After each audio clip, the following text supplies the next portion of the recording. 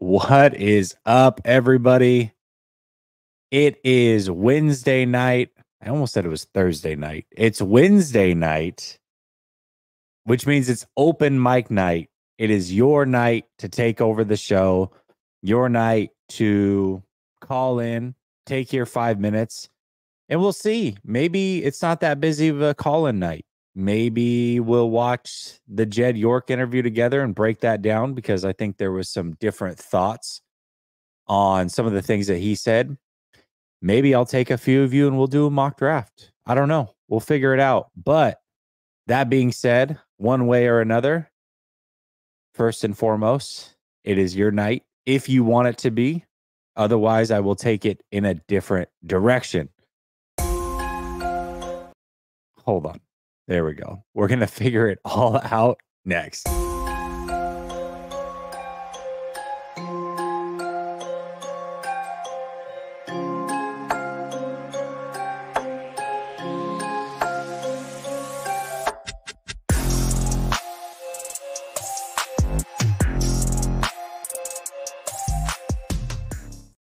All right, welcome back to Last Second Sports, where we are giving you our take down to the last second like I said, it's your night to call in. Link is pinned to the top of the chat. So if you want to get in, get in early and we'll play it by ear. I know that there's not a lot going on. So it's possible there's not a lot on your minds. That's okay. We'll figure out a way to make the show go one way or another. But I do have a few people waiting backstage. We'll get through them and we'll continue to go from there. But if you want your five minutes to talk about whatever it is that's on your mind, you've got it click on the link. It'll bring you backstage, and I will bring you up in the order in which you are waiting. That being said, I mean, it wouldn't be a open mic night if Korean 49er didn't get us started. So that's what we're going to do. We're going to go to Korean 49er. What's up, Korean 49er? I'm all right, Jesse. How are you? I'm doing fantastic, man. Fantastic. I'll probably go back into hiding after this for a little bit, so you never know. Okay. enjoy whatever right. of the spring that's supposed to be starting up here. Um, so, based on that interview of Jed York, it seems that at, with that kind of mindset and attitude, you will just be the bridesmaid every time we're in the Super Bowl. You know, with that kind of mindset. You know, it's it's interesting to me because I think a lot of people took different thoughts from that interview. I I didn't have an issue with him showing maturity and maybe changing his answer a little bit. Where I took exception with what Jed York was saying was the simple fact that he kept seemingly, I thought, taking shots at his uncle. And I thought that was uncalled for. I took it as he was taking cheap shots at his uncle. There was multiple things that it, that he said. Well, you know, I mean, it would be nice if we could just spend whatever money we wanted. Uh, Didn't have a salary cap. It's like, dude, just win a Super Bowl. All right. I don't care. Win a Super Bowl. I don't know. You also have to realize, you know, his uncle's dad also won two Stanley Cups with the Pittsburgh Penguins. So in the 1990s, I mean, that part of the family is, is much bigger winners than the Yorks. I met the Yorks are 0 3 in Super Bowls last time I checked. So, I mean, yeah, they are. But, you know, and they, they're, they've been smart business people. I'll give it to them. I know that you measure success in the NFL a lot of times with how much money you're making, and they're doing a fantastic job there. But we as fans, we don't care about that. We don't care that the team is valued it more. We don't care that you have more money to go buy a soccer team in BFE where I don't give a damn, right? We care that you're winning a Super Bowl and that hasn't happened yet. So if if you're going to represent the 49ers and get up in front of everybody and answer questions brought to you by the media, which is essentially the extension of the fan base wanting to know these answers to these questions, well, then address it as such. Address the fan base, knowing that the one thing we care about is winning another Lombardi trophy. That's all we care about. We don't care about any of the other stuff. The lemonade stand this or how much money you're making. None of that. We care about winning a Super Bowl. Period. didn't Jed say that they only put up pictures of the team that wins teams that win Super Bowls? Last time I checked, they haven't had any teams during his his ownership tenure hung up in their facility, supposedly. I don't. I don't know. I don't know, I don't know what's if that's true or not, but that's what he said. I don't know. I don't know. I don't. I didn't hear that. I didn't hear that or see that. But uh, yeah, Yep. That was a while back. So he said something to that effect. I'm like, okay, you're the one who set up the expectation. So, but question for you, Jesse. yeah. With the gold standard now being the Chiefs, they're cold about making whatever decisions about making their football team better. They are. gotta think about it. You said you don't want Tyreek Hill anymore after losing that one Super Bowl, and Mm-hmm. then you beef up your offensive line and kind of mishmash it together. To me, you gotta. This team says we're gonna run it back. I'm like, okay, you're insane because last time I checked, you've done that, and how many times have you lost to this team in the Super Bowl? I mean, this franchise in the Super Bowl. You Yeah. I don't know if you. that Well, I don't know if you. I don't know if you caught it, but they signed like the a star rugby player today. Oh, I heard know. The, remember when the 49ers did that with Haynes? But they uh, he's 23 years old or something. Like they're they're trying some crazy stuff. We'll see if it actually works for him. But yeah, the Chiefs. You know what's interesting about the Chiefs? If I remember things correctly, and I'd have to go back and look, I want to say that them beating the 49ers in the Super Bowl in 2019, they actually had more turnover on their team than the 49ers. And they were the team that won, but they realized that they needed to try to continue to get better if they wanted to keep winning Super Bowls. They retooled it completely after going to the Super Bowl and losing to the Bucs. They've done a lot of major tweaks after winning Super Bowls and big games. They're not afraid to do that. And the 49ers this year they've retweaked things a lot. And so we'll we'll see how it plays out for them. But I remember after 2019, they didn't do a lot of retooling or retweaking, not to the level that the Chiefs did, anyways. agree with that. I definitely agree with that because it seems that they're willing to make the hard decisions on which way to go for their team and say, hey, you know, someone asked me, you know, living in the Midwest when the Bulls were winning all the championships and said, you know, everyone kept saying, we hate the Bulls because like we got because we got Jordan. It's like I understood what it's like, you know, now when you know everyone's speaking up the Chiefs and like that kind of drives a, you know, the proverbial stake in the a hot stake in the heart. You know? Yeah. I mean, I absolutely. I'm not gonna lie. I don't want to. I want to hear it. Don't even want to. It was like, I had buddies at work that asked me, "It's like, what do you think about the Super Bowl?" I'm like, I got no comment, man. No comment. Just walked away. You know, I wasn't gonna get angry at somebody. I'm like, it's out of my control, man. What can I do about it? So, Yeah. so uh, well, Absolutely. yep. One last question for you, Jesse. Yeah. In my life, I'm already resigned to the Bulls. I'm a Bulls fan. I'm Okay. already resigned to the fact that they'll never win another championship in my lifetime. I mean, you're a tra- you're a Trailblazers fan, and I feel your pain, so I can understand and feel your pain. So,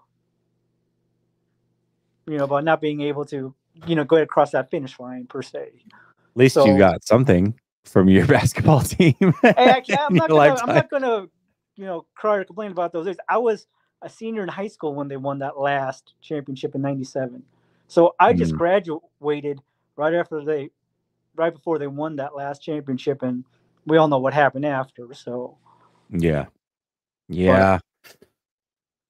Man, the- I don't know. I don't know that the Bulls are the Bulls Bulls are struggling, man. They are on a struggle bus. And the Blazers, the interesting thing about the Blazers, they're always seems like they're always getting good to make the playoffs for these runs and then they go into these massive rebuilds like these rehauls every 10 years or so and bring in new stars and you get excited and then it's never enough and it's just the same thing over and over and over as they say, if if rebuilds were guaranteed, go ask the Chicago Cubs about rebuilding. They did 108 years of that before they finally won a championship. I don't want this franchise, the 49ers, to go through.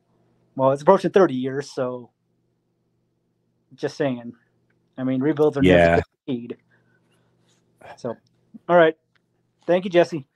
All right, brother. Hey, if you if you are in fact going into a hiatus, it was good talking to you, and we'll talk soon.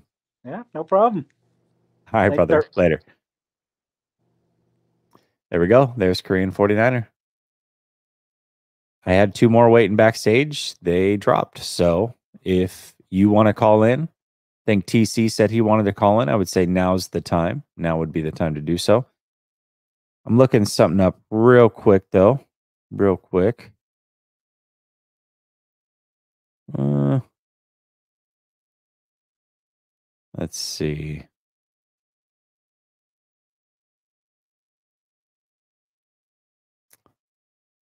All right. There we go. I decided to fix something real quick. Apologize about that. All right, let's get to some of these starred comments. Dave says, Jesse, how you doing today, sir? Doing good, man. Doing really good. Thank you. Mitchell and Ness says, why no show with Grant? Grant is traveling. He was in Orlando for the team, or excuse me, the owners' meetings. And then he is traveling back home. So he and I aren't doing a show tonight. We might do one tomorrow. We'll see if we can make it work. Daniel says, dope shirt, favorite BJ Penn fight. That Ken Flo beatdown was pretty nice.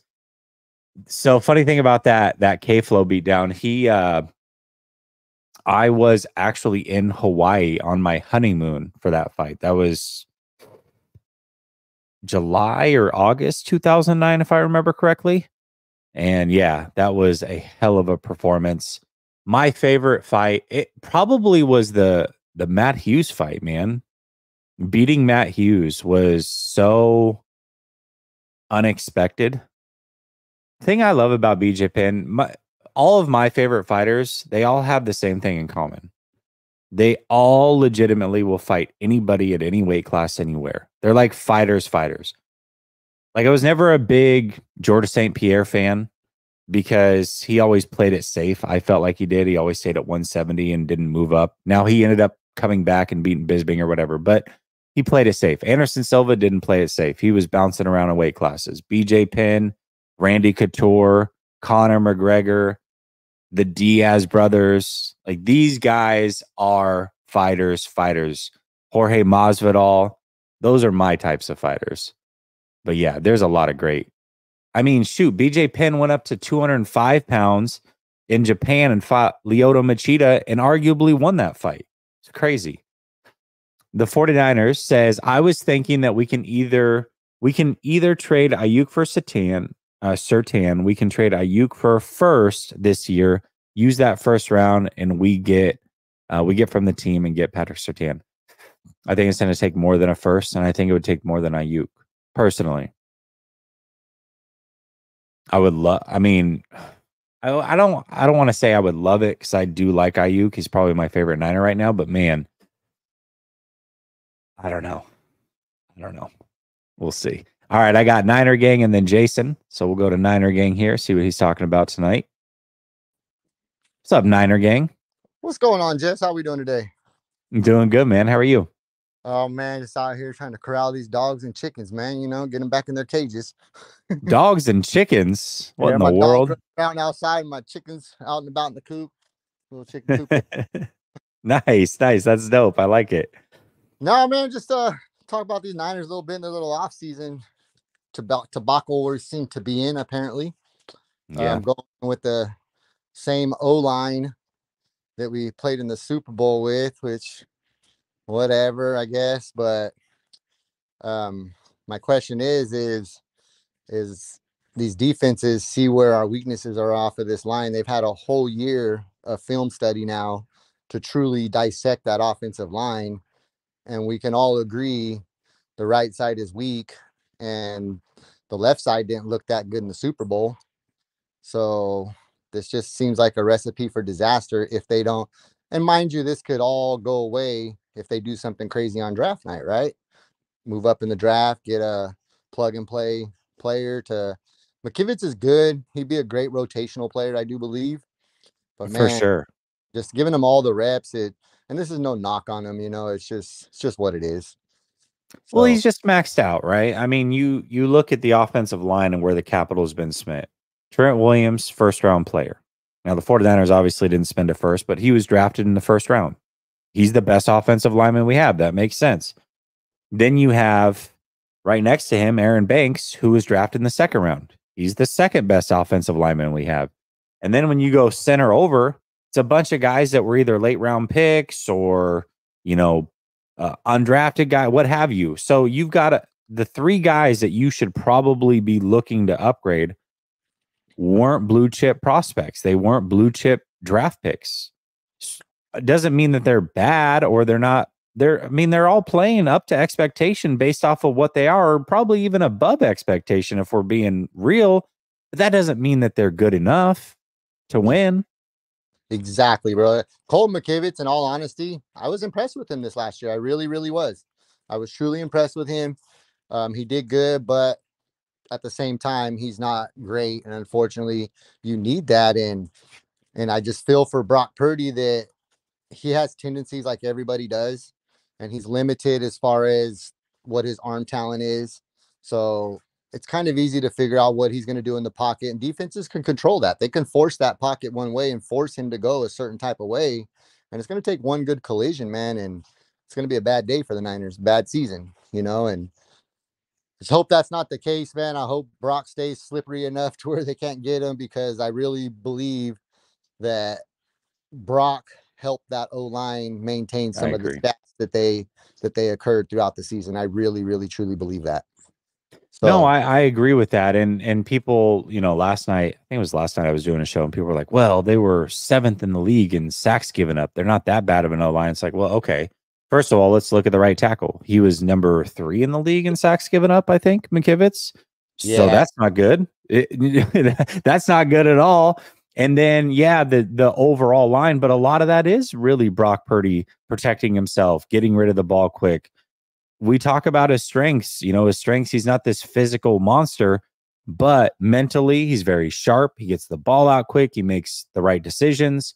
He knows what the offense, what is expected of him in this offense. And I think that all of that helps bail out this offensive line from time to time. So, you know, it, sacks are not always a offensive line thing, good or bad. It's just not. Sometimes it's on the quarterback. Sometimes the quarterback can save you from getting sacks that should have been sacks, and sometimes the quarterback will walk into sacks that shouldn't have been sacks. So, yep. And to that point, dude, that's exactly why I'm kind of on the fence of don't pay Aiyuk crazy money because he's a great route runner and stuff, but you got to have time for these routes to develop. And we've seen game after game after game, even if the routes develop, he's number four on the depth chart, number five on the depth chart. You know, Kyle Shanahan doesn't scheme to have the take off the top. That's not his scheme. That's not his game plan. His game plan is throw everything to Christian and Deebo and see what happens out of the backfield, you know? So, but with that being said, my last thing, man, I'm going to let you go is Brock Purdy, Jed York. Oh, I'm ready to pay him 40 million. Let's say two hypotheticals. Brock, Brock has the same exact season that he had last year, stat wise. Do you pay him? Do do I pay him? Not you, but does do you think that the organization should pay him if he produces the same way he produced this last season? Even if he makes it to the Super Bowl or not, let's say we go to NFC championship game. And just like with the Super Bowl, we all agree the loss wasn't on him.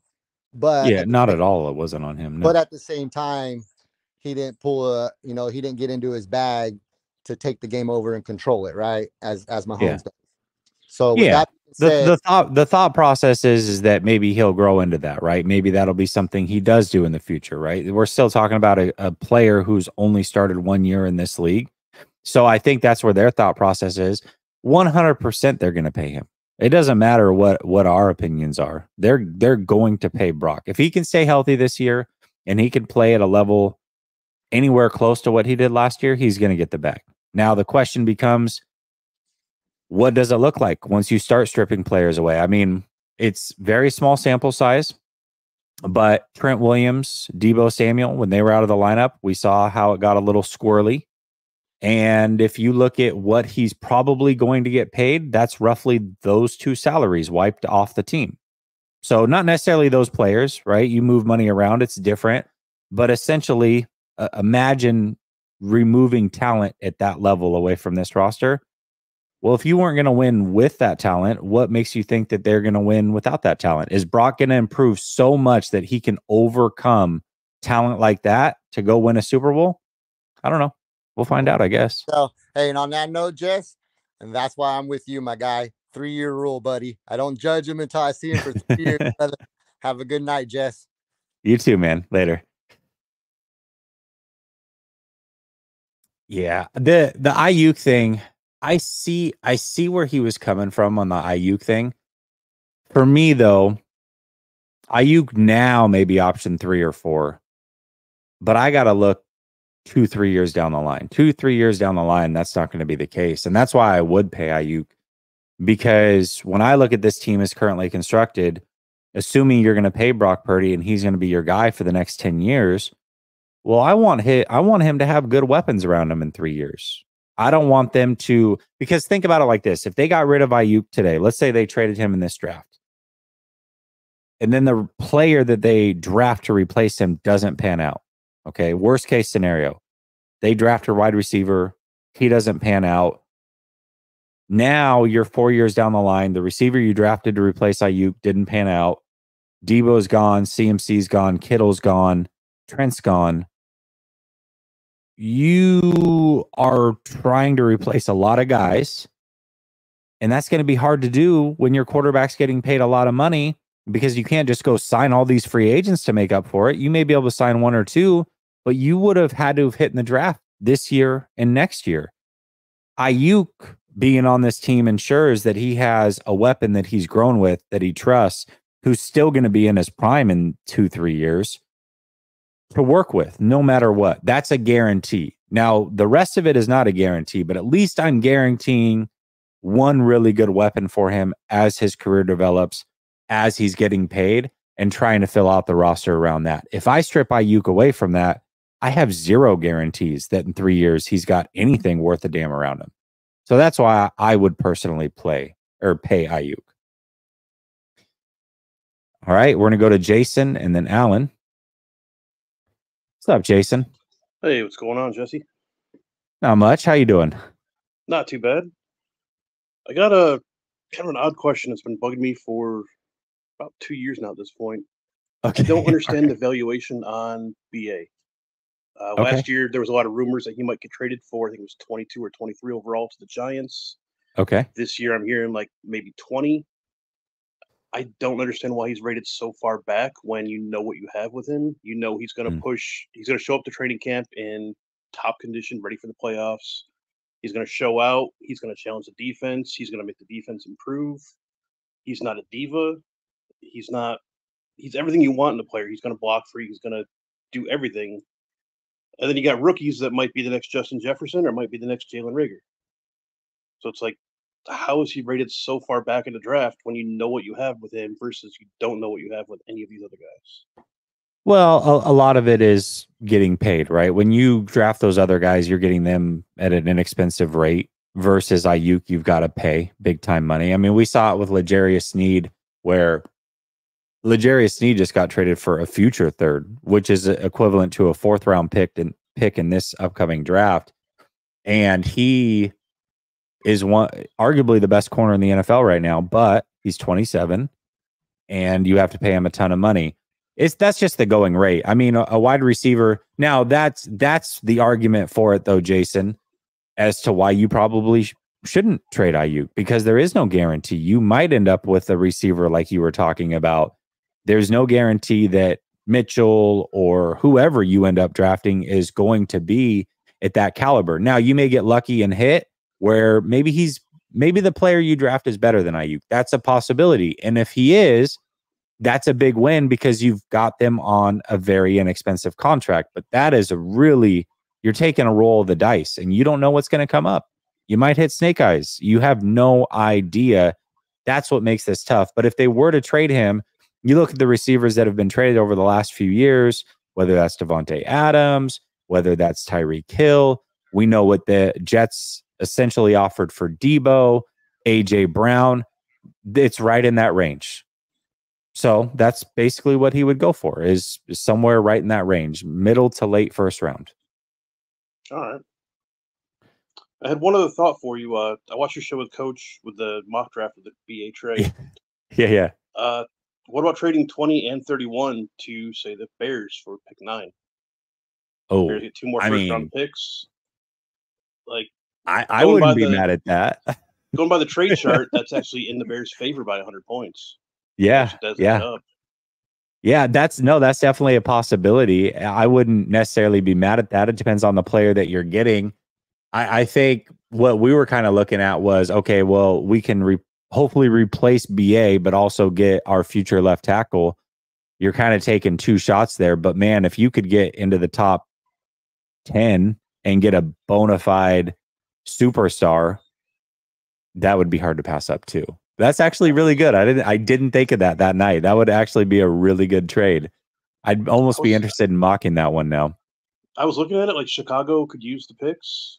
It's mm-hmm. losing two more first round picks and gives the Niners yeah. their in theory their left tackle or most likely, you know, an extra kicker or something we'll draft. Something yeah. Way out of left yeah. field that we don't need, but Man, yeah, Rome, Rome would be a good one. Uh Nabers would be the one, but I don't think that's gonna happen. I don't think he'd fall that far. Yeah, I don't know, man. That'd be crazy. I actually kind of want to mock that now. Like, all right, who who could you get at number nine? Who's gonna fall? What do you do? That'd be interesting. There's gonna be three or four quarterbacks off the board, like a couple receivers. We might get a top two tackle or end or ta- defensive tackle. Like there, there's a lot. There. Yeah, the, dude, the number nine's a whole different world, man. Uh, the, I forget his name, but the tight end up there, like yeah, Bowers.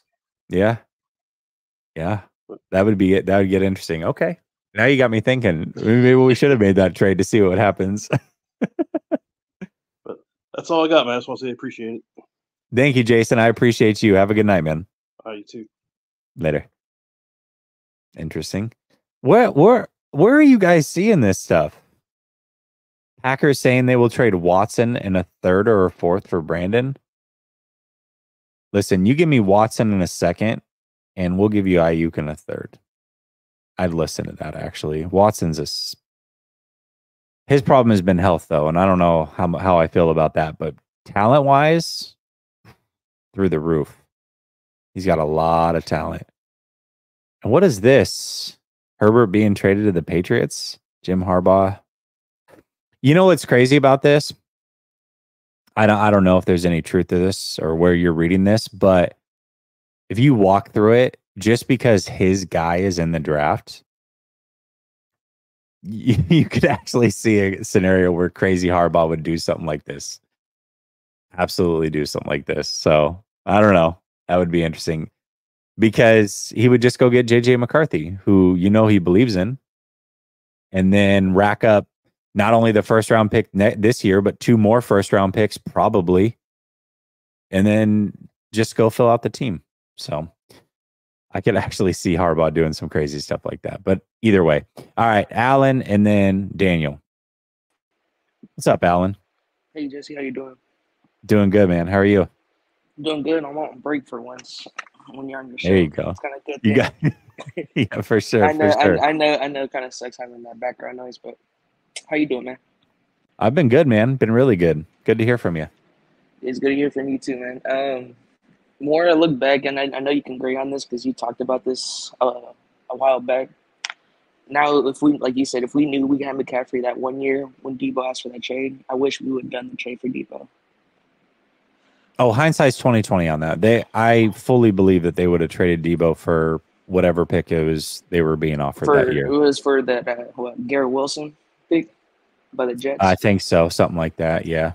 And imagine Garrett Wilson with BA would have been a nasty little duo, and then he would have had that rookie contract receiver with uh, BA getting his contract right, right now. You know. Yeah. Yep. Um, but I wanted to get your opinion on this little theory. I know you're saying, in your own opinion so far, like what you've seen with Brock, he's not a franchise quarterback. Mm-hmm. What if the Niners didn't want to pay a quarterback yet and traded him next year and drafted a quarterback this year to develop? Uh, I mean that's always a possibility. You know, that's and I, I know, I, I know, I know that's I know, I know not a possibility crazy. from the standpoint they're going to do that. It's always something you could do. But what I would what I would do is if I wasn't sure on Brock, I would just say, "Hey, you know what? I want to see it I want to see it without some weapons around you type of thing.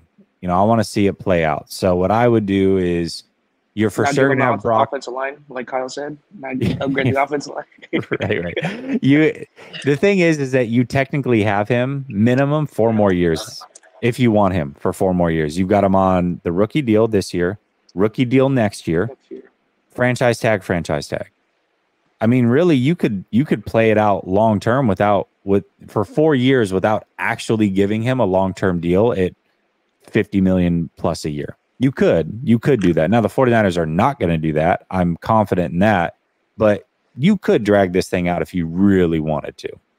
I'm just, I think you can agree. I don't want, I don't think Brock is a Jimmy, but paying He's him Jimmy, Jimmy, money, if you pay him Jimmy's money though, where you lose weapons and stuff, that's where it's a little toss up and stuff. I know losing weapons, like you said, Trent Williams and Deebo throughout those weeks was looking not that so good for Brock. Yeah. Now, uh, to be fair, it is a small sample size. Like, I, I want to look at this from all angles, right? I, I know that I'm like the resident Brock Purdy hater, but uh, and this is off brand. Well, realis- plug- realistically, though, you're just you know spitting facts. Listen, but but plug your ears so that you can continue to label me as a hater. But I want to look at this from both sides and say it's small sample size, very small sample size. Also, even if that is what he is now, that doesn't mean that that's what he is in two years, right? Because this I is agree. this next season is his first full off season. You would expect to see some improvements.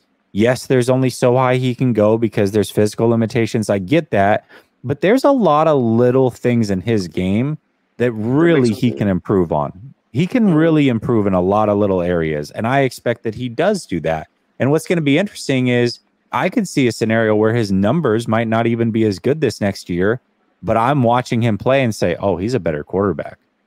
He's better than he was last year." Now, numbers may not play out that way, but you could really see that scenario where it's like, "Hey, we're looking at a better player this year. I don't care what the numbers say. Th- this kid's better." That's also a possibility. Yeah, yeah, I agree. Because what you would call it, Mahomes didn't have a great statistical you know season. Everybody thought that was a download right. season, but if you go for eye test, you know he still does what he does at Highly, but just less weapons. Yeah, absolutely, absolutely. And then um, no. last question. Um, I want to talk. Let's talk a little bit more NFL. You know, because I know you like talking about the NFL mm-hmm. in general. Um, do you see the Jets making a run this year? Because I know not everybody's starting to get onto the hype train with the Jets again, like you usual, like last year. Do you believe in that hype train? I I don't. I really don't. They've they they've got so much capital. And listen, long term they're not hurt because these guys are on one year deals, but they've got they're so much so invested old. They're so on old. yes older players with injury history if those guys go down, their their season shot. No, I, I I don't, and I don't know what Aaron Rodgers is going to look like. No idea what he's going to look like. I, I don't. Yeah, exactly. I don't buy it. I really don't buy the Jets. That's the more we'll the more though. I see that Jets news, the more I'm kind of glad we didn't get Aaron Rodgers because think about well for you guys, it probably been wonderful because you know there's more stuff to talk about. But well, he wouldn't have been injured though. To be fair, he things play out differently, right? You've got to assume that he doesn't get injured if he's here. Just, I mean, you he's not so? playing on I, that. I mean, yeah. it, it, was turf though. Regardless, I, it, it was the turf monster at MetLife, but also everything's different. Everything is different. If the Jets call, this is how different it is. If the Jets snap the ball one second later, that probably doesn't happen. If the Jets call a different play there, that probably doesn't happen. You know what I mean? Like there's so many mm-hmm. little things that could change that. So if he's in a whole different team, you've got to imagine it's likely he doesn't go down with an Achilles tear, which means who knows what that looks like. I agree, and I see my five minutes is up, Jesse. I appreciate your time, and thanks for Absolutely. All right, brother. You have a good one. You too, man. Later. All right, we're going to go to uh, Daniel and then TC in just a minute. But let me get to these things that I starred real quick. Uh, Guillermo says, Last Second Sports, do you think Drake Jackson gets an opportunity to play more? I don't know, man. You know what's weird is nobody asked about Drake Jackson. Nobody's at it's all I think everybody kind of forgot about Drake Jackson. I know I did until you just brought it up. I don't know. I mean, a lot of raw talent. Year one, his body wasn't ready for an NFL season. Year two, his body wasn't ready for an NFL season. I don't know. I don't know what's going to happen with Drake Jackson, but he's going into year three. And I think a lot of us kind of forgot about him. Everyone's worst nightmare is what specifically can he improve on? I assume you're talking about Brock here. Yeah, man. Uh, first of all, listen, a lot of people talk about Drew Brees when they talk about Brock Purdy. Brock Purdy is not as accurate as people think he is. He's just not. People look at completion percentage, but when you look at ball placement, throw after throw after throw, there's there's a lot of improvement that can happen there. I mean, I'd say like if you look at CJ Stroud for example, that dude completion percentage wise, you're like, "Oh, he's not as accurate as Brock." No, no, no. You watch him in college and then you watch him last year throw into those tight windows repeatedly and put the ball right on the money in a place that only his receiver could get it. There's there's something to that. Brock Purdy can be a lot more accurate. I would say he's I don't know, lower middle of the league as far as pure accuracy goes. So there's a place that he can improve. I also think he can improve his decision making. I, I think he was very erratic in college. We haven't seen a lot of that in the NFL. And people, I know people hate talking about should be turnovers. Every quarterback has dropped interceptions. I got that. But you know that there's a stat that tracks how often it happens for every player. It's not just a Brock Purdy thing. But when you look at that percentage, it's extremely high. He puts the ball in harm's way a lot. Now, that can go in his favor too, in a sense that if Brock Purdy throws a ball or a, any quarterback throws the ball to a receiver and the receiver drops it and it pops up in the air and gets intercepted, that doesn't go towards your turnover worthy plays because that's not on the quarterback. That's why I like that stat so much because it's not just as simple as, oh, dropped interceptions. No, no, no, no, no. Sometimes interceptions happen that are not at all on the quarterback. And that stat tracks all of it. So I look at that stat a lot. I love that stat because it tells you how much your quarterback or how often your quarterback is putting the ball in harm's way. He needs to clean that up. He does. He's been very lucky in a lot of scenarios with that. So I would say decision making and accuracy are the two biggest areas of improvement. And I think that he's going to improve on both of those this offseason. I really do. And that's what I'm saying. There's there's a scenario where Brock Purdy's stats are not as good as last year, and he's a better player. All right, I'm going to go to uh, Daniel and then TC. What's up, Daniel? Oh, Jesse, how's it going, man? Good, man. How are you? I was just having a good night here watching you, and then I have a bone to pick, so I had to call in. Let's do it. I love it. I can do it. Um, I can't stand for the I can't stand for the GSP slander. First and foremost. that is not where I thought you were gonna go. But sorry, I was mid drink, dude. That is not where I thought that was gonna go. That's awesome. Uh, no, I uh, you had me. I was like, yeah, this is great. Like, yeah, I agree. The Diaz brothers, Anderson Silva. Yeah, yeah. Like, and then GSP never really challenged himself. I was like, oh, okay, all right. This is where I draw my line with Jesse. Um, oh, no. No, let's get back. Um, I guess yeah, that's the reason that what made me call in. Um, but I guess ah shoot my I guess let's get to the 49ers. I guess like we yeah. go on a tangent with the UFC, but we'll save that for another day. Um, I was just thinking right now. I was uh, I was on hold. Since you're in Jacksonville, I'm a. Uh, I was born in Tampa. raised. I'm in Tampa. Tampa. Tampa. Tampa. Sorry, sorry. Yeah. My next point is to get about Jacksonville. So sorry mm-hmm. about that, but yes, uh, Florida. Um, I'm born and raised in the Bay Area. Been to games, Candlestick and Levi's, and now living in Vegas gone to, you know, games on the West Coast, 49er fan, go to Rams games here and there. But this year, my wife and I decided to go to the Jacksonville game. And okay. I, you, I know you didn't go to that game in particular, but being an East Coast fan, I'm assuming over the years you've been to more game or to some games on the Eastern time. Yeah, zone. I went to I went to Jacksonville a couple years ago. Yeah. So my question for you, and it was just an observation I had when we were in Jacksonville, was are the East Coast 49er fans more rowdy? Oh. So man. At, at the Jacksonville game, I was like, this is the closest to Philadelphia fans I've ever seen with the 49ers. It was, it was like we were just everyone was tearing into Jacksonville fans. I was like, I've never seen this at Levi's. Maybe back in the day at Candlestick when the team was like three and thirteen and people were, you know, boozing before games and get a little ratty at Candlestick. But I'm like, over the past decade at Levi's, I'm like, I've never seen even anything remotely close to uh, like the rowdiness of the fans in Jacksonville. Like it was fun. It was like, oh, this is different from the, you know, the the first down chance and you know the more quiet, respectful Levi's crowd. Yeah, you know it's interesting. First of all, I don't know how many of those fans are traveling from the West Coast, so I don't want to say that. But what one thing I will say is I went to my first home game this year. I'm I'm used to traveling to other stadiums. That's how I take in the 49ers, right? Yeah. So this was my first time going to a 49ers home game. I was there for the Tampa Bay game and then I was there that was Thanksgiving week, and then I was there for the NFC Championship. Right. I like road games better.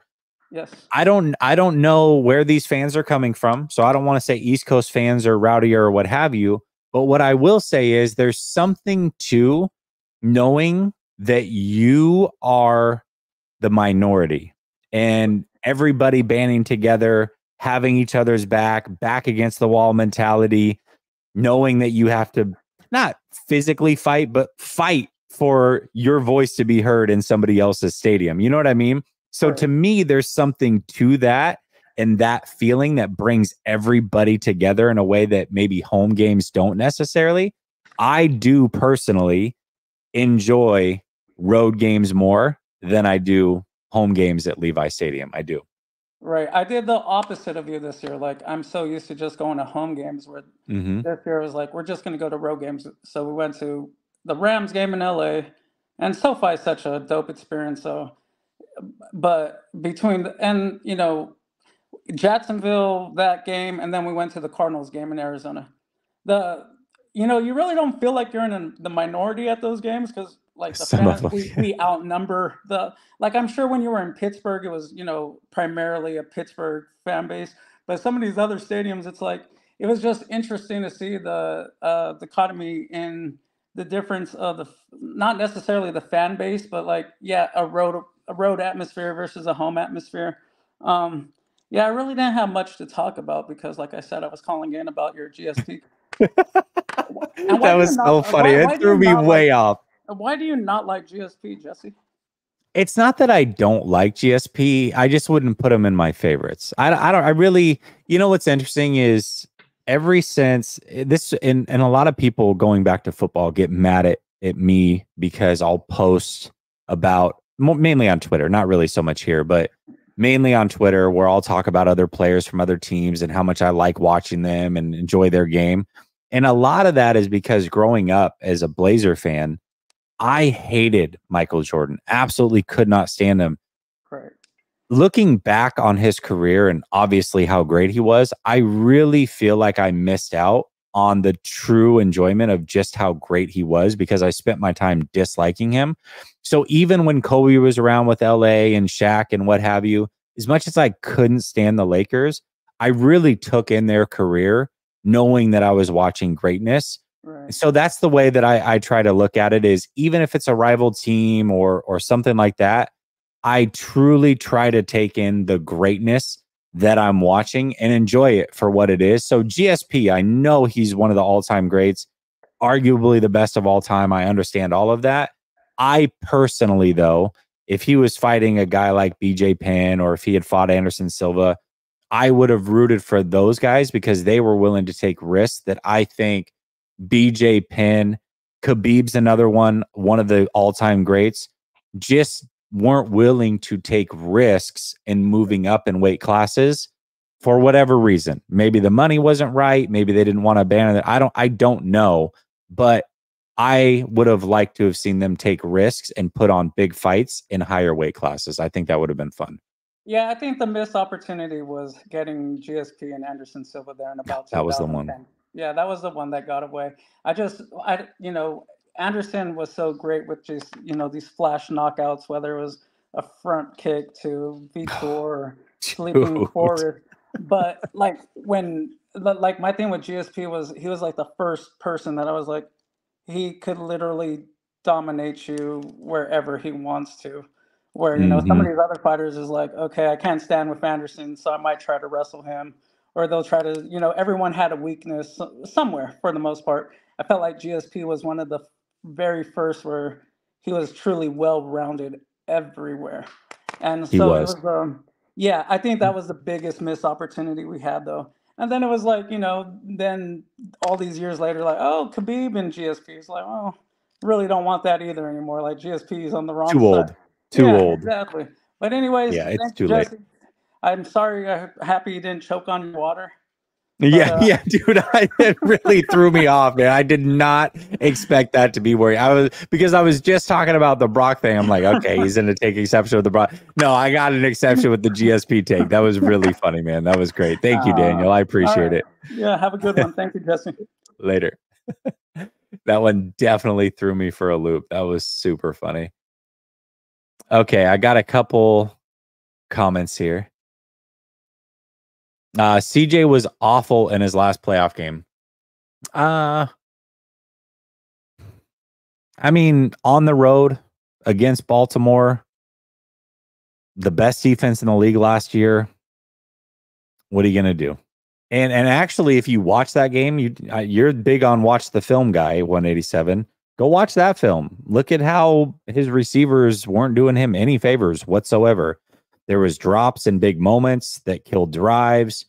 They couldn't run the ball worth a lick. There was a lot that went uh, against him. But eh, listen, if if the point here is to devalue what CJ Stroud is, let's switch him and Brock Purdy and see how that goes. Like, is your point that you think Brock you would rather have Brock Purdy over CJ Stroud? Is that is that your point, or are you just saying it to say it? Because there's not a world that I would take Brock Purdy over CJ Stroud. Everyone's worst nightmare is if it says if you Google Brock Purdy accuracy, he was number one in deep passes and 10 in true completion.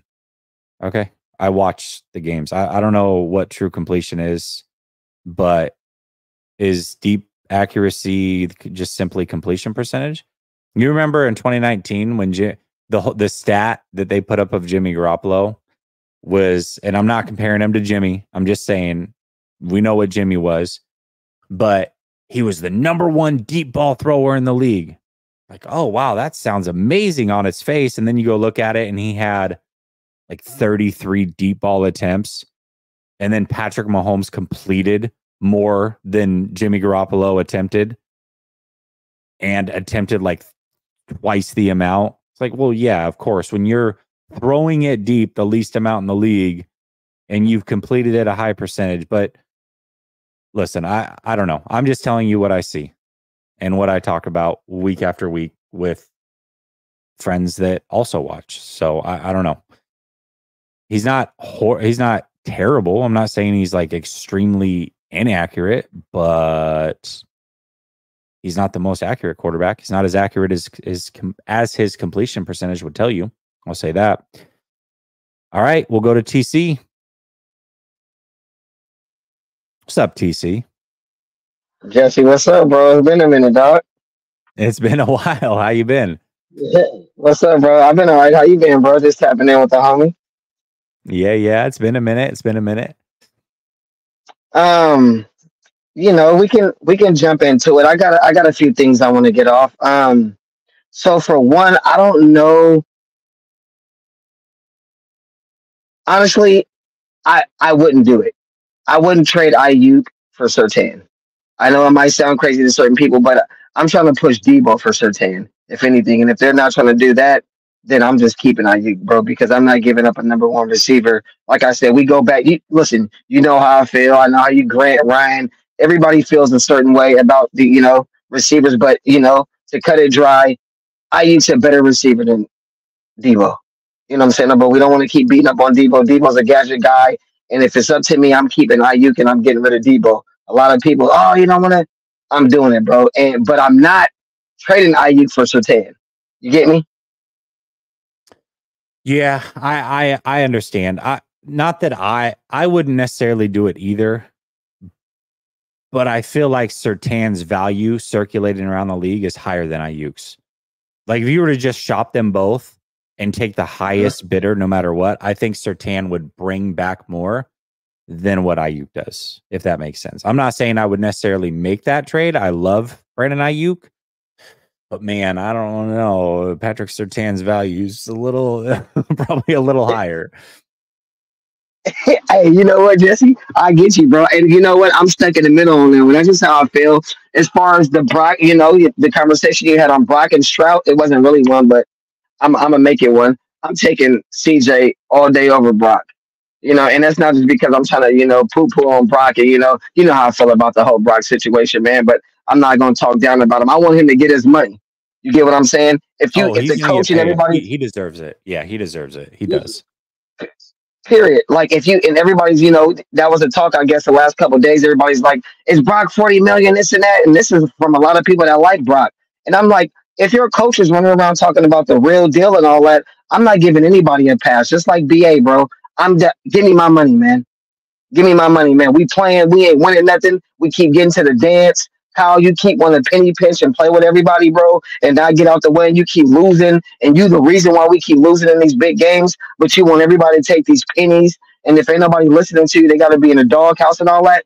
Man, bro, I'm not giving nobody no deal. York, uh, uh what's the boy Paraag, Lynch, Kyle, I'm not, bro. Give me my money, big dog. That's how I am with the with the team. Like if, if you up for a contract, bro, with this Niner team, I'm a diehard Jesse. But I'm not playing no games with these guys, man. And we acting like we won all these rings and all that. Sound like I'm venting, bro, but I'm just being honest.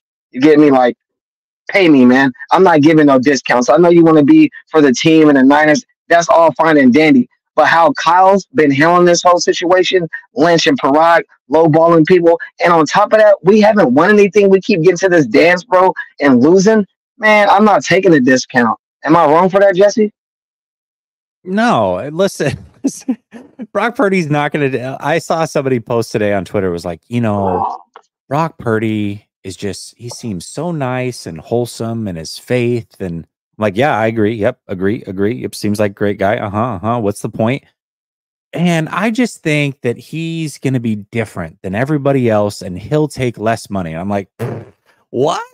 This guy's been getting criminally underpaid the whole time he's been here. You think he's gonna not take? Oh, hey, I'm worth sixty million dollars, but I'll take I'll take forty because I want to help you. Hell no, zero percent chance that that happens. Now, what he might do is do what all the other quarterbacks do when they get paid, which is take, kick some money back, kick the can down the road, do some restructures to free up money for that year. But he's not going to take this major discount to a P for what? Why would he? Absolutely not. No, it's not going to happen. Yeah, I'm not. I'm not doing that. And as far as the draft, as far as the draft comes, uh, go best player available. If it's not, if mm. you're not getting an offensive tackle, period. Period. In, in, in, my opinion, the first two picks should be offensive tackle. This is Kyle. You keep playing around. You want to run the ball. You're supposed to be this genius, bro, but you never put chips in the offensive line and you want to patch everybody up. I, hey, listen, I heard what coach said. I heard how everybody, uh, Ryan, I know how people feeling about the offensive line. Like, this is what it's going to be. Well, that's how it's going to be we're going to keep losing either in the NFC championship game or going to the Super Bowl and losing until we touch that offensive line. If you're not doing offensive line, I'm cool with taking best player available, but you got to do that. I'm not trying to trade back. I'm not trying to trade out. I'm not trying to draft some running back. I'm not Jesse. I know it's all season, but I'm tripping, bro.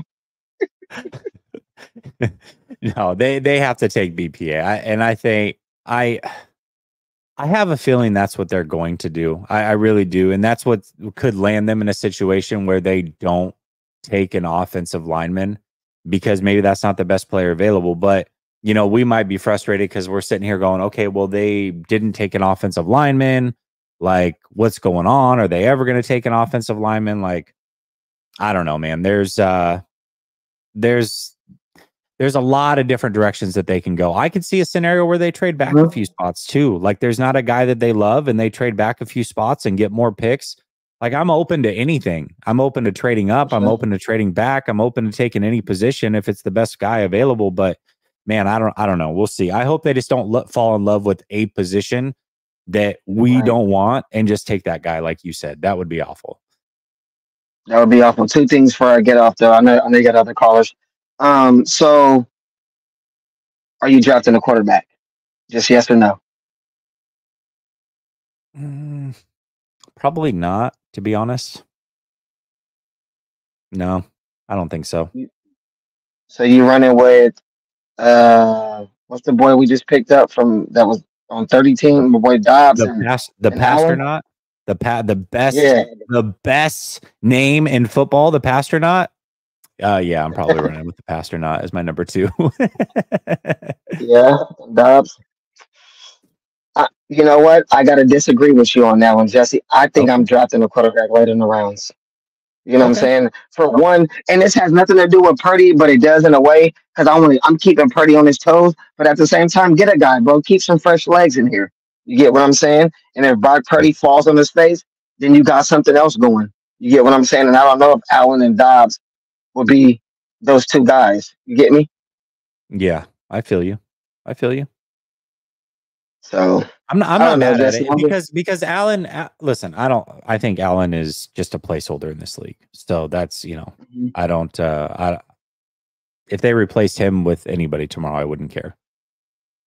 Period. And then the last but not least, how you feel about Jim and the Chargers? I think they're going to the playoffs and they're gonna make some noise because I love Jim. I believe in Jim like that. I think Jim and Herbert is gonna be like a match in heaven, like him and Alex Smith and him and Kaepernick. What you think? I think that him and Herbert are going to be magic, but I think that it's going to take a year. The AFC is loaded, man. Absolutely loaded. And they are trying to overcome that draft. I mean, uh, excuse me, that salary cap and clearing out space. Mm-hmm. That's going to be, it could lead to a rough year. However, I say that, but if they get Nabers or Harrison uh-huh. and uh-huh. they continue to beef up that offensive line, it's like, okay, well, maybe, just maybe they can make some noise. So, uh, but I, I love Jim's philosophy of beefing up the offensive line. That's his number one priority. Love it. Yeah. Yes. I just wanted to ask that question because I was like, man, I've been thinking about Jim. I've seen, you know, the press conference. And I said, you know what? Jim and Herbert, man, they going to ball out. I believe in Jim over there, man. But just that's all I got, Jesse, man. I just want to, I really want to get on and holler at you, bro, because it's been a minute. You know, I'll be in the chat. I'll be following y'all, man. I just, I, I you know, I have to tap in with the homie. I didn't, it, it, it didn't feel right with me sitting back. I had to call in. no, I appreciate you, TC. Always good rapping with you, man. We'll talk soon. All right, bro. Peace. All right, bet. Okay. Uh, let's see. Black Belt Jones says, Jesse, let's hear your top 10 QBs. Hmm. I need some parameters. Are we talking about from just this last season? Are we talking about who I'd want for the next five years? Are we talking about top 10 going into this next season? Like what what's the parameters on that? Because these lists can go a million different directions. I'd be curious to see what your thoughts are. Okay, and we're going to go to John and then Hugo. Can you hear me? I got you, John. I got you. What's up, man? Hey, uh, I just wanted to ask do you think free safety is a big need in the draft? Because if they see Huff and uh, um, Brown as um, strong safeties, then I feel like just relying on Gibb, who's really old, frankly, you know, and no depth there with Huff coming off of ACL, I feel like that might be a big need. Brother, I definitely agree with your assessment. In fact, the way that I would label it is I would say it's one of their four biggest needs. You to me, it's offensive line, it's corner, it's free safety, and it's tight end. Those are the four positions I would love to address in this draft. So I yes. mean, um, who's that kid from Alabama we drafted last year? I mean, that as a third round pick between him and Moody. Uh, Are you talking about Latu? Latu. I mean, yeah, he needs to step it up, or else that's these third round picks can't be such big busts. I mean, getting Warner and and Kittle in the fifth round in the past has paid dividends, but you would think with third round picks they could at least be, you know, satisfactory backups. I mean, I know it's hit or miss, it's a crapshoot, but he really fell off. I mean, in training camp, y'all reported on it. I mean, he didn't do anything, frankly. Yeah, yeah, he he's he hasn't done a lot in the playoffs his whole career though. That's not that's not new for George Kittle, right? Like I think a lot of people looked at it and was like, "Oh man, is he is he getting old kind of in front of our eyes all of a sudden?" Cuz it the drop off can happen quickly. It really can.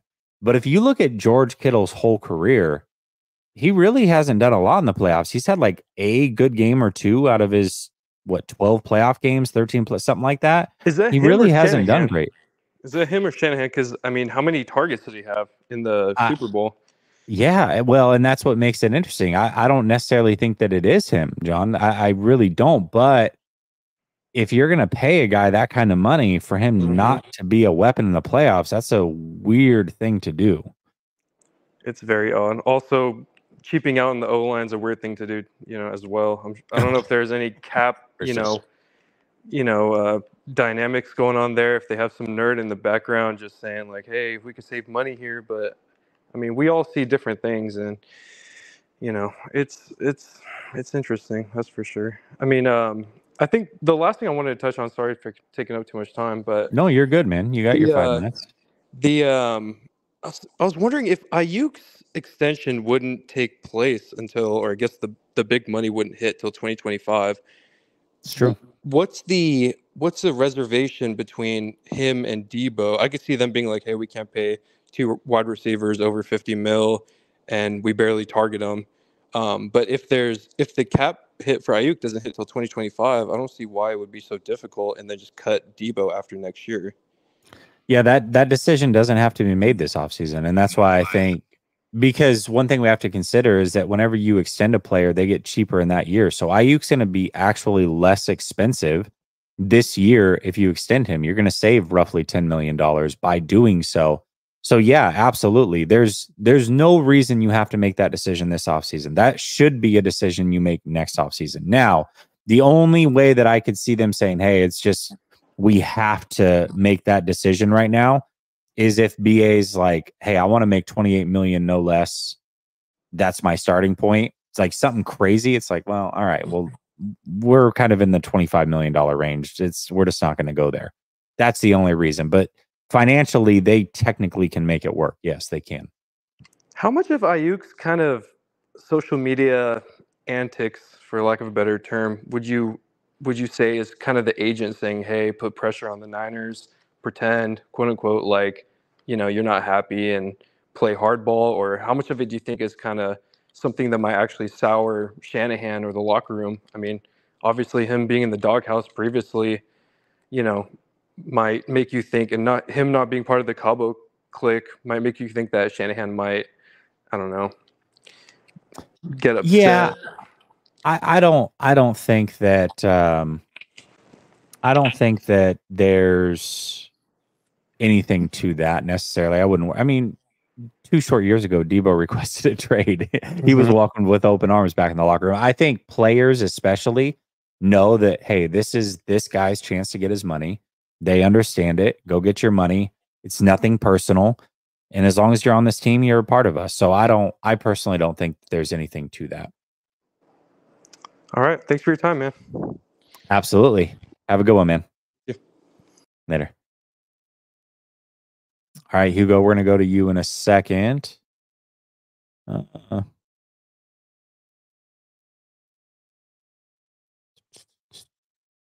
let's see. All right, got some chats here to get to real quick. Adam K says, I don't know about all my fellow 49er faithful, but I'm still not over the Super Bowl loss. It was gut wrenching. And this was our best chance, in my opinion. I don't feel confident going forward. What do you think?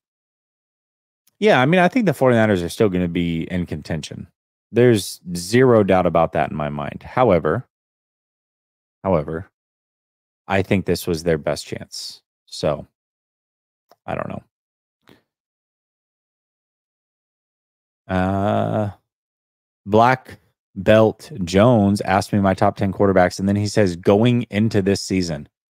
Oh my god, this is such a projection. I'll go quickly off the top of my head. Mahomes, Allen, Lamar, Burrow, Herbert, Stafford, Stroud, Rodgers, Cousins, and then you can make an argument for Hurts, Goff, Love, Purdy, Lawrence, whatever direction you want to go. I don't know who number 10 is. That one's tough. That would be my 10. Daza says, while Brock Purdy has been really good, do we really want to pay him 50 to 60 million a year? Really, that's only about five to seven quarterbacks in the NFL worth that. I agree with you. That's where I'm at. It's only the elite of the elite that I would pay that. Like, like let's go to the top 10 list I just gave. Okay. The guy, the five guys I gave it at 10 that could be 10, and even Cousins, right? Like putting Cousins in the top 10 when he's been borderline there his whole career, he's been back into the top 10, maybe top 12, depending on the season.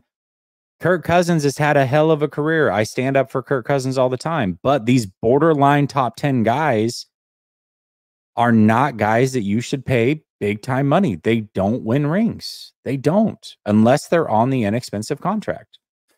Dave says, I'm with Adam. Do we draft quarterback this year? I don't think so, man. I, I really don't. I, I don't think that they will. And I don't know that I would either. Maybe, maybe I would take a flyer on somebody just because Allen's like so mid, but I don't think they're going to. All right, we're gonna go to Hugo. What's up, Hugo? Uh, what up, Jesse? How you doing? Doing good, man. How are you? First off, I want to give you a shout out, man. You're the fitted snapback king. First, bro, you know I mean? flat bills and snapbacks. That's where it's at. That's it. That's it, baby. I hear you. You know what I mean? Uh, I go to you guys for my content. You, Grant, and Coach, man, y'all, y'all the best. You know what I mean? So I want to give Thank y'all you. flowers. You know Thank what I mean? Um, my little segment, I just jumped in right now. I caught you live for the first time. I was like, oh, let me jump on here real quick. yeah, um, yeah. It's gonna be real quick my question is, what do you think of the whole Nick Wright thing, saying that we need to do whatever it takes to get that first pick from Chicago and pick up Caleb?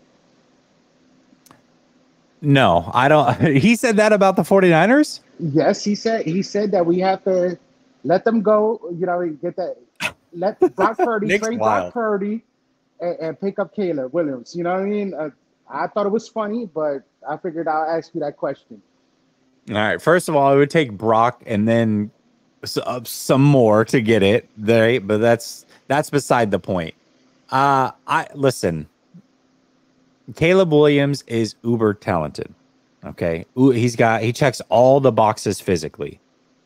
I watch Caleb Williams and I don't say I do not see can't miss talent. Now, that doesn't mean he's he's not going to be great.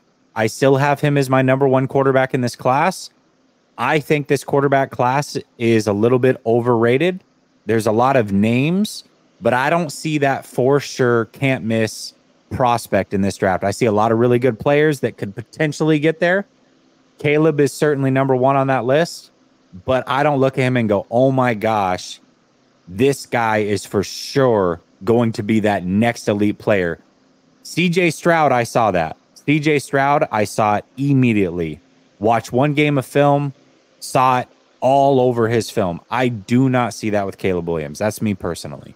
No, I, I agree with you hundred percent, hundred percent. Uh, he's talented, but we don't know his ceiling just yet. You know what I mean? He, he needs yeah. to develop a little bit more, and especially with all the drama that he's uh, going through right now. You know, I, I, don't see him being a great fit for the Niners. So I, I think Nick Wright was wrong. I, I think I think this out of all the quarterbacks that I see in this year's draft, the guy actually that would probably at least right away play the best in the 49er system would be JJ McCarthy. because he lives over the middle of the field. Absolutely lives there. That would be the guy that would be the best early on, I think, in this system. Now, I'm not saying he would be the best with another team or if I had the number one pick, I would take him. That's not what I'm saying. But with this team, this system, immediate impact, JJ McCarthy, I think, would actually play the best year one in this system. Now, what about a quarterback for Aiyuk? I know that Brock Purdy, uh, that's his go-to guy, but mm-hmm. he he still doesn't have that uh, that arm 100. percent You know, mm-hmm. throw them deep bombs. So, uh, do you feel that if you was to get another quarterback to develop right next to Brock Purdy that might have them skills and the same uh, skill sets that Brock Purdy has, not right now, but you know, eventually in the future, do you think that would mm-hmm. be a plus to to pick up? Yeah, I mean, obviously, if you could have everything Brock Purdy has and then have an elite arm, that would be ideal. um, I I think uh, you know, I personally don't think you should ever stop looking at quarterback. Right? I know that I just said, hey, I probably wouldn't draft one this year, but that's because I just I don't. Maybe round seven I could see like uh, taking a Slovis or something who was projected at one point to be one of the best quarterbacks, fell off, had to transfer schools. Maybe you take your chances on something like that and just see what he turns into. Definitely, yes. Bring in some guys. It's never going to hurt anything. But ultimately, Brock Purdy is going to get signed to a long term extension. And the only way that any of these guys are going to ever play is if he gets hurt. So, but, but if that if that happens and he does get hurt, you sure would like to have maybe developed somebody behind him that you could trust. That would be great. No, definitely would. Now I got two last questions. Uh, yeah, go ahead, man. Shoot. The the BA contract.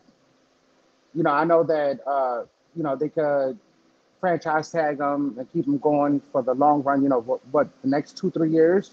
I'm assuming. Mm-hmm. Um, is that going to be possible? And then on top of that, address the O line. You know, are they gonna do something in the draft to beef up the O line? Because right now, I'm not too happy with what they've done so far. The so the first question was trading Aiyuk. Is that what you said? No, not trading Aiyuk. Is he gonna be? Do you think he's gonna be extended, or yeah, they're gonna uh, try to try to go that the long route and just franchise tag him?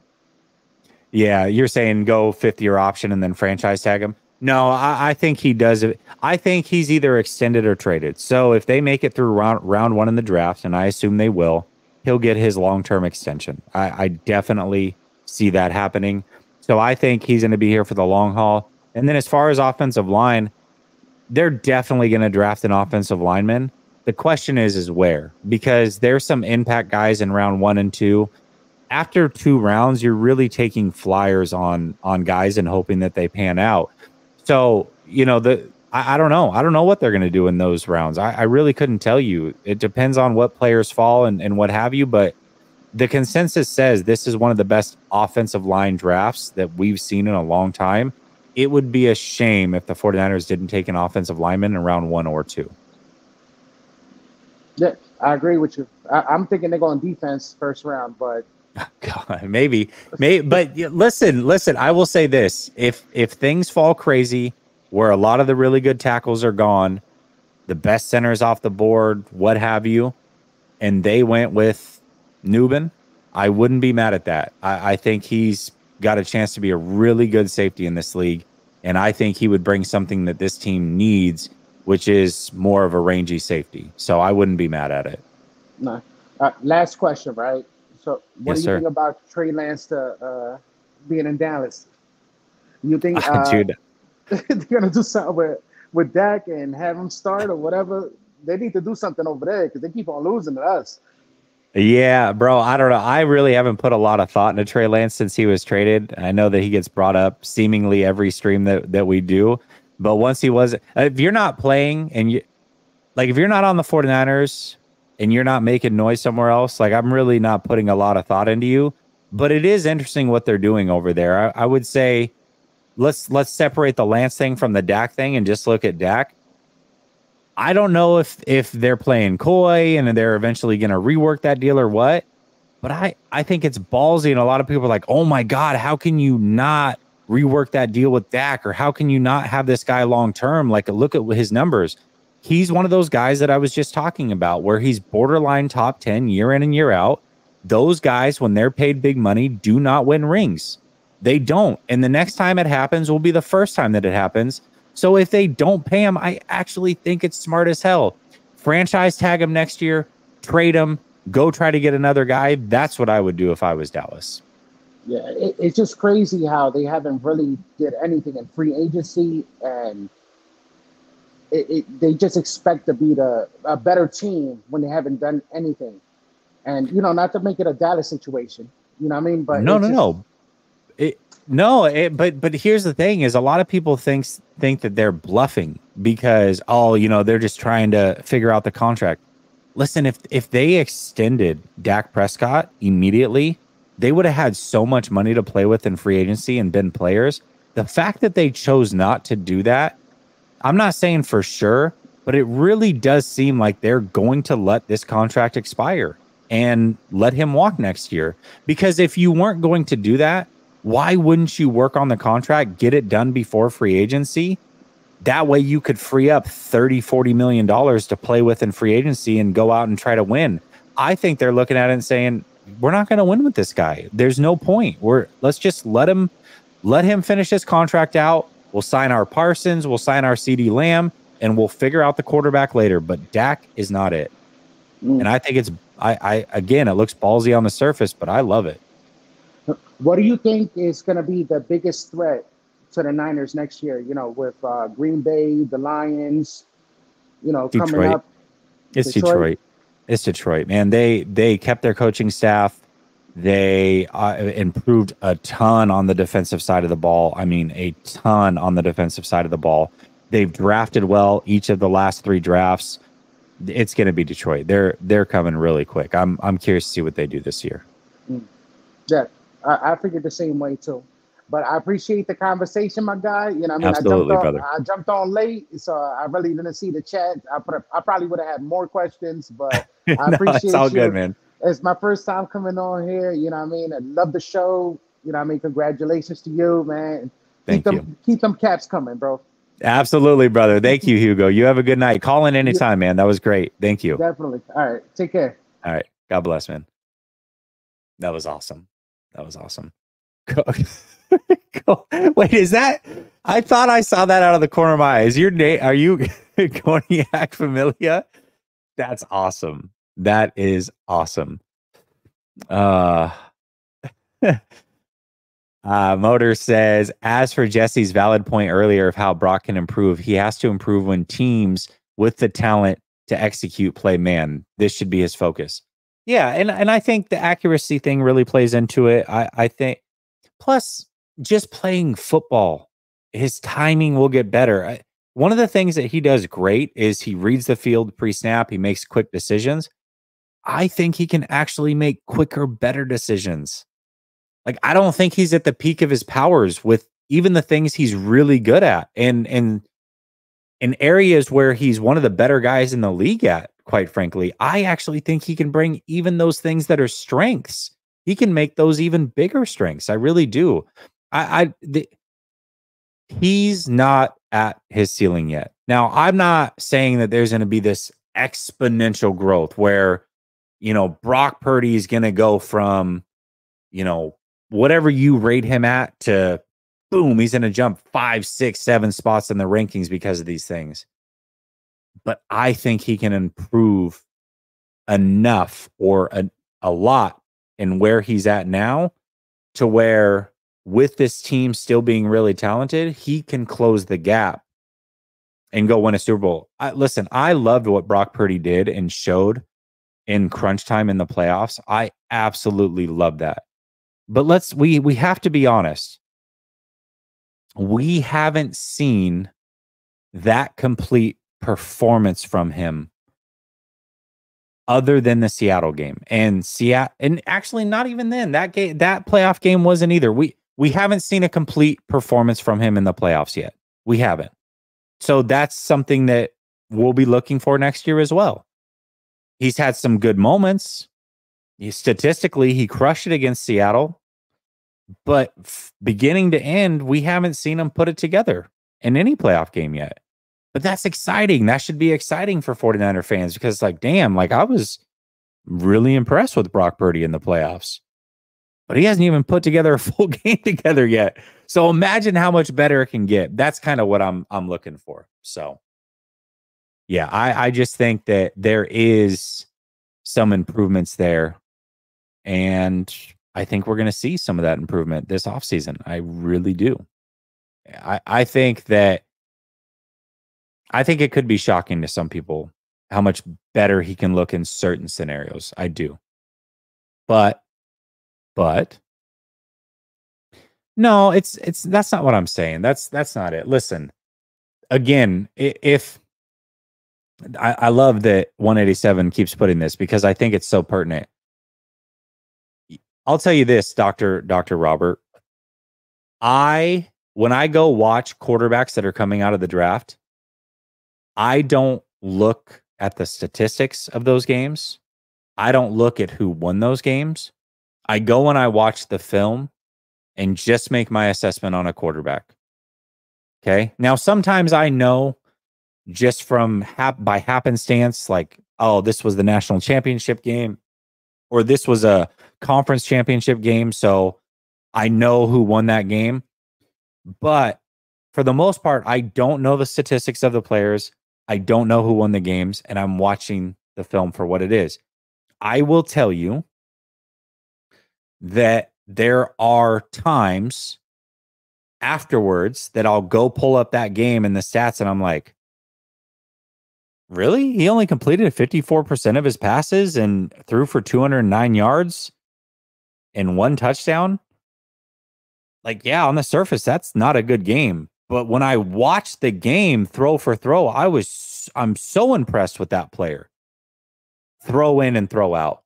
And then there are times, and I think the Seattle game is that for Brock Purdy, where I'll watch a game and be like, bro, I had no idea that Buddy just went for 400 yards and three touchdowns.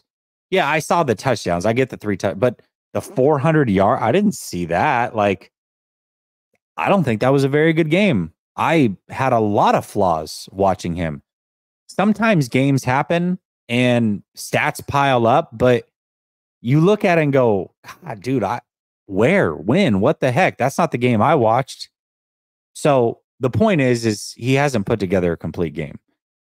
I'm not saying statistically it wasn't awesome, but that Seattle game, which was his first game, statistically was his best game. And since then, it's been a little bit of a whatever. But but I will say this if you watch the film of the Lions game, statistically, it doesn't hold a candle to what happened in that Seattle game. But I like the film a hell of a lot better in that Lions game than I did that Seattle game. Right. So that's the way that I look at it. I I don't know. Stats are are awesome. And they certainly, for me, stats support my opinion. I will use them to support an opinion that I have on a player. If I think a player is really good at X, and then I can go find a stat that supports that, I I'll use that stat like crazy. If I think a quarterback is bad at X and I can find a stat to support that, I'll use that stat like crazy. But I hate the raw, just, hey, we're looking stat for stat because that doesn't tell you the whole story. There's so much context that is lost when you just look at the statistics. It's why, if you watched me during the season, I didn't kill Brock when he had these weird moments pop up throughout the season in the crunch time against the Ravens. Like there's so much context that's lost. Yet it was almost weird because sometimes he would have a quote unquote good game statistically. And I was harsher on him after those games than I was even the Ravens game. You know what I mean? Because I'm going off of everything, all encompassing. What did I see? What did the game show me? Then what did the stats show me? So forth and so on. So that's how I look at the position. I don't know. Just a little bit different, I guess. Yeah, absolutely. As long as they don't continue to be weird moments, right? Like that's the big thing. That's that's what you're looking for. They can't continue to be weird moments. But unfortunately is is they kind of were there for a minute. He got stuck in some of those weird moments. Now the hope is is that when it happens this next year, assuming that players go down and they're playing a tough team or it gets rainy or what have you, that he can work through those moments. That's what we're looking for. That's when we see the growth. There's nothing wrong with having those weird moments because you're right. That's what gives you a chance to have that career arc and improve and learn and all those things. You but you have to see the improvement before you stop calling them weird moments. Uh, Dr. Robert says, "Yes, I am looking for change uh, for changing plays, changing protections, finding the mismatch, etc." Yeah, for sure, and, and that's that's another area that he's probably going to improve on. You know, what are the mismatches? Who can I attack? There's just so many little things that that playing playing the game in repetition, he'll just improve on. So many finite little things. So yeah, he does for the most part. Uh, Brock was an MVP candidate, and people will still say uh, that he sucks, just like Lamar Jackson. Uh, yeah, but see, that's the other. Listen, outside of this fan base, you're going to hear a lot of trash talk. But genuinely, who in this fan base is saying that Brock Purdy sucks? Like you've heard me say, I don't think he's elite. Okay, but where in that am I saying that Brock Purdy sucks? I, I don't know that it happens very often. He doesn't suck. Certainly not. He doesn't suck. So I don't know. I feel like that's a straw man argument, personally. No, he doesn't. He but he, he he really genuinely doesn't people get so emotional with Nick Wright or anybody that doesn't just like bend the knee and praise Brock Purdy. Right? Like I hear it all the time. You're a hey, I get tagged. I'm not even a part of conversations and I get tagged it's like, oh, the hater, the guy that thinks Brock Purdy sucks at JNay underscore LSS. He'll love this take from this Seattle Seahawk fan. I'm like, yeah, I don't agree with that take. I don't, I don't, what are you talking about? Like, I never said that. He never said that he sucked. I've never once heard him say, Brock Purdy sucks. Ever. I've never heard that from his mouth. Now he's not as high on him as you probably want him to be, but I don't think he's ever said he sucks. Has he? Can you find me that clip and I'll change my mind? Find me that clip and I'll change my mind. But I I don't think that he's ever said that. I think a lot of people listen to what he says and interpret it as that but the words Brock Purdy sucks, I don't think when I watched him this season once came out of his mouth. And I'm pretty confident in that. Oh my gosh, dude. Where have you been, Swan Song? I haven't seen you in forever, brother. Wow. Good to see you in the chat, man. Good to see you. Swan Song says if Brock gets a 45 to 50 million dollar per year, the window for some of the older veterans is closed. Yeah, I mean, I think, I, I think that um, uh, the windows, eh, the window is closing for this group, regardless of what Brock gets paid. It just is. They're they're older. That's what's happening. So, no, the window's closing anyways. I mean, he implies is a lot of that is an emotional thought of what you think you're hearing. So I don't know. I bet you I can find a minimum of 10 clips where he said that he's better than than Jimmy Garoppolo. KB says, Jesse, by saying you should trade a quarterback, he is saying he sucks. No, he's not. No, he's not. That doesn't mean he sucks. That just means he doesn't think he's the franchise guy. I mean, I I just put I just put Kirk Cousins firmly in my top 10 for this upcoming year and I wouldn't pay Kirk Cousins. I wouldn't give him big time money. Do is that me saying Kirk Cousins sucks?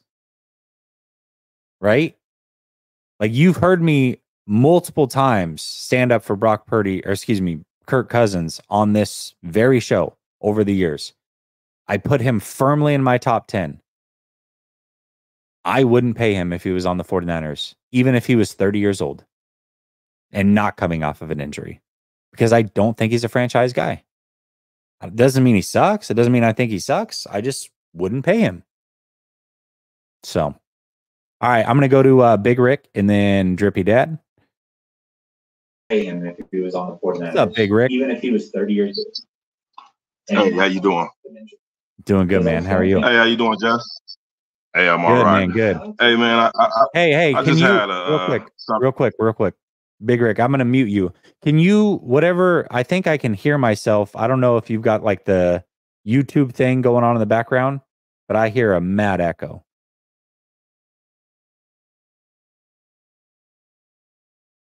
There you go. There we go. Perfect. it good okay, now? okay. Yeah, yeah. I I hate All my right. own voice. There we go. Yeah. Perfect. yeah. Uh, hey, uh, I, I- just had something to say about like the Brock Purdy hate and all of that. It's Yeah. I, I, it's not really hate. It's not really hate. I just feel like a lot of us have seen great quarterbacks play throughout the years, and it comes times to where when you get to those playoffs, you're gonna need a, a quarterback that can beat the defense. You Mhm. can beat a corner, not just not just uh going in and, and, and play with Cal Shanahan's offense. Sometimes you're gonna have to beat that defense deep. Everybody is dropping in, and and Cal, uh, uh, Kyle is is is throwing a lot of those those those uh how can you uh uh swing passes and things of that Mhm. nature when he- he'll stick with it when we really need to throw the ball downfield. And I, I just feel like like we just need that quarterback that can beat the defense when Shanahan's offense is not going to work. That's just Yeah. all I had. I, I I just feel like it's not it's not a lot of hate. I just feel like in this defense today, you you need a stronger arm to beat those great defenses. Yeah. I well, I'll say If this. Let, let's, sense. Get- let's make it let's make it really simple, uh, Rick. Let's make this really simple. and this is how few Okay. of these guys there are in this league. Okay, this is how few. Yeah. CMC. We all we all agree. I think. Raise your hand in the chat. Put up the hand emoji if we all agree that right now CMC is the best running back in the league. All right. I think we that's probably something that 49er fans can agree on. Okay. We all agree on that. Okay. So, Yeah. Yeah. great player, best running back in the league. Perfect. Okay. Yeah. Now, the fact I, I get that ev- everybody got caught up in all the great things that Spags said about Brock Purdy in his interviews and all the other things. But one thing that the player Yeah. said in Kansas City was their game plan was to put it on Brock Purdy's right arm, right? Now, Yeah, a lot of people are like, hey, well, I mean, it's CMC, of course. Okay.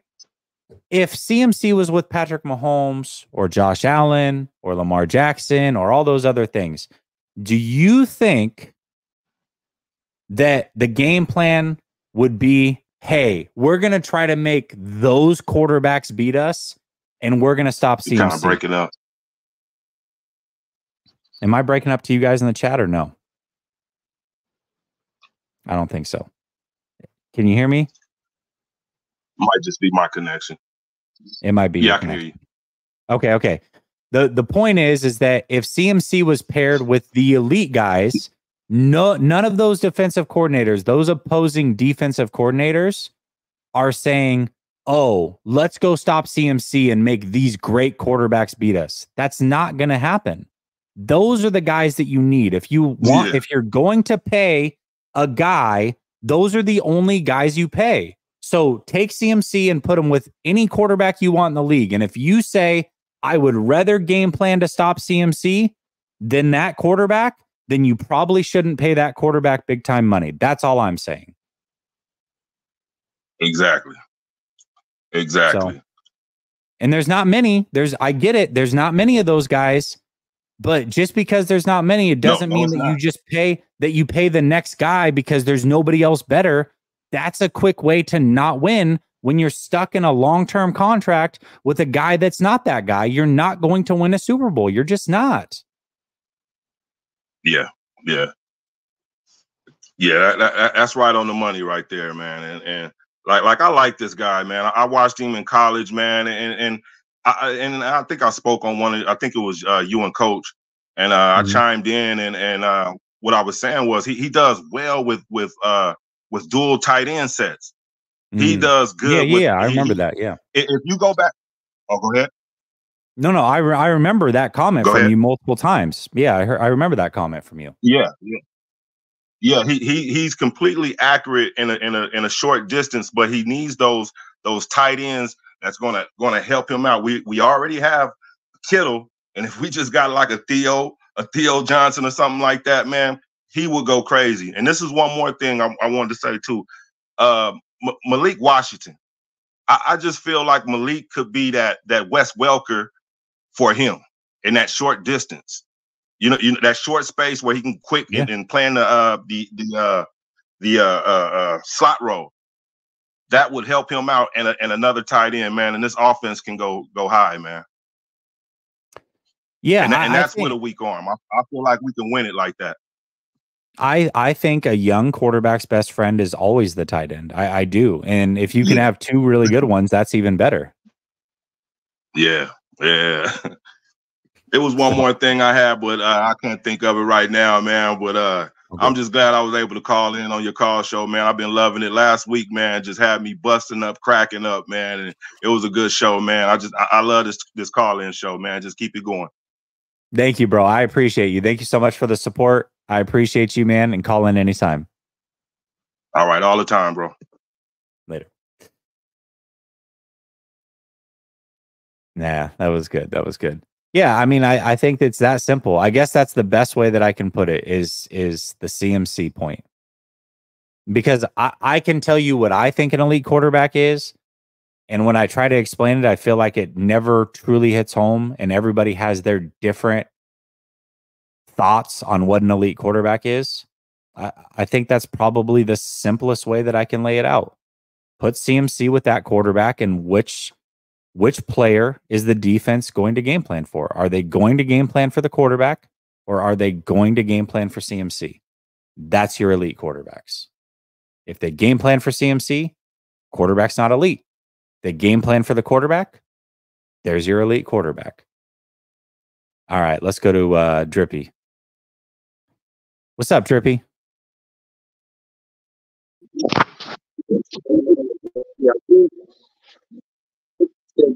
playing and you, are cut. Hold on, you're cutting in and out. Like I'm getting like every other word from you. Okay, let me. Better. That's better. Whatever you just did. Oh, he's been having trouble, man. He's been in and out of the studio. So hopefully I can get him to work. Hopefully I can get him to work. Uh,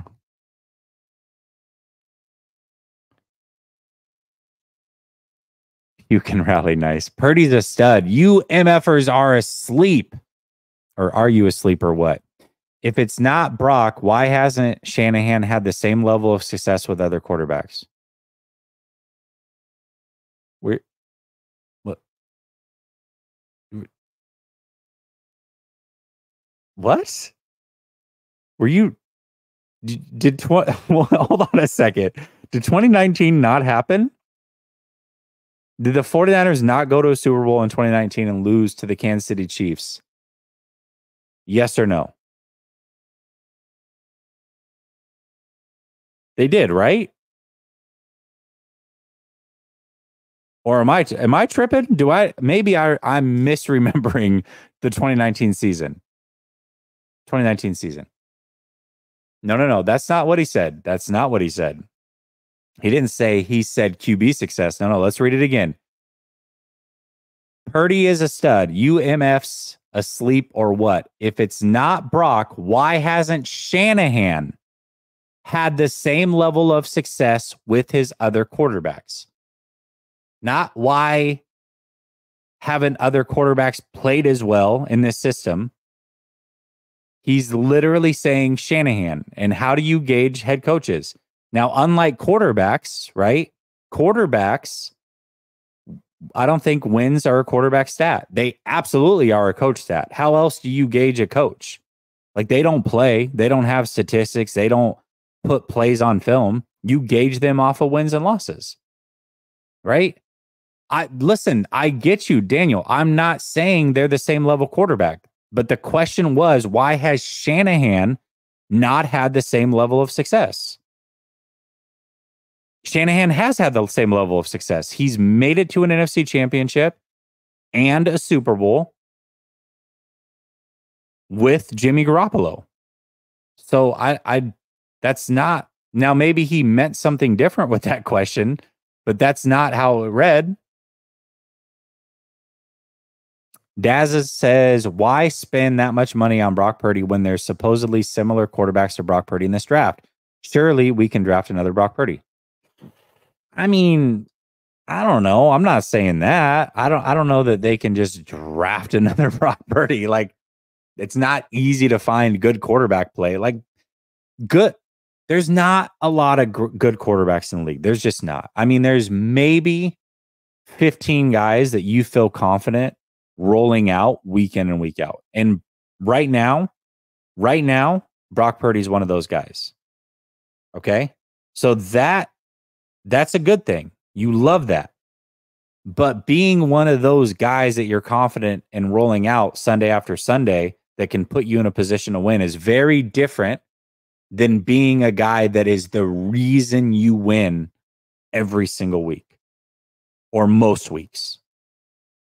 That is the reason you're going to get over the hump, even when you're paid a lot of money. Those are very, very different descriptions. Dave says, because Shanahan sucks, draft quarterbacks every year. Come on. Yeah, I mean, whatever. I don't mind taking quarterbacks late every year for sure. For sure. I know, dude. He, listen, this is an after dark show for sure. But Grant was traveling back from Orlando, so we couldn't get it done tonight. So I'm going to make it up right here. Just did. Hour and 40 minutes. Uh, T Dub says he's more than that. How many quarterbacks were MVP finalists? Dude, I don't give a rip about that. If if your if your point is that because he was in an MVP conversation that he's better th- you, so okay okay okay based off of that the two best quarterbacks in the league right now are lamar jackson and brock purdy is that what you're saying is that what you're saying? Uh, over Patrick Mahomes, you you take those guys over Patrick Mahomes and Josh Allen and Burrow and them? Okay. Because that's what you're saying. And and by the way, guess who else let, let's take all the best. Let's take all the guys that were in that conversation this year. We're going to take we're to rate our top 4 quarterbacks based off the MVP award. You ready for this? Here's your best 4 quarterbacks in the league based off of your criteria, criteria TW. Ready? Lamar Jackson one, Brock Purdy, Dak Prescott, Tua Tagovailoa. Those are your four best quarterbacks in the league. Because MVP, right? Come on, man. Stop. Dave Barclay says Jesse killing it solo. Love the chat. Fire Kyle. God, dude, it's just fire Kyle. Okay. Then I will say respectfully, your evaluation of quarterbacks is terrible. Respectfully, though. Respectfully. Respectfully. Because I love you and I love what you contribute to the chat. But any list that has Tua and Dak anywhere near the top five needs to be punted into the furthest garbage can in the world. So, absolutely not. I would take, dude, I, I mean, so many quarterbacks. Let, let's name all, let's go to the quarterbacks that I would take over Tua. Like, I just did a, a top 10 list for guys going into this next year. I had nine guys is my top nine, and then five guys that I would take as number 10. You, you can make the argument for any one of them. Purdy was one of them. One of those guys was not Tua. That's how much I think of Tua.